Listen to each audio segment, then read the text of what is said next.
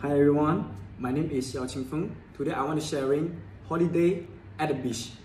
During my last summer vacation, I decided to take a trip to the beach with my family. We were all excited to spend some quality times together. So up the sun and splash around in the ocean. When we were at the beach house, we were immediately blown away by the standing view of the ocean from our balcony. The salty breeze sounds of the waves crashing on the shore was incredibly relaxing. And we know it's a great time. Every morning, we woke up early to catch the sunrise and take a stroll along the beach.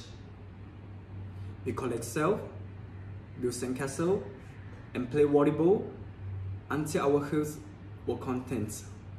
So on in the evening, we will enjoy some delicious seafood at local restaurants and watch the sunsets over the oceans.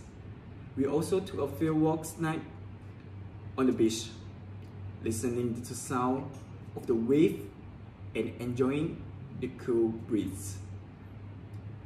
Lastly, our holiday at the beach was the perfect escape from our busy life.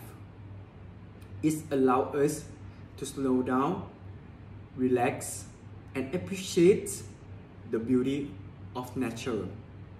We left rejuvenated and grateful for the memories we had created together. Thank you everyone. This is my sharing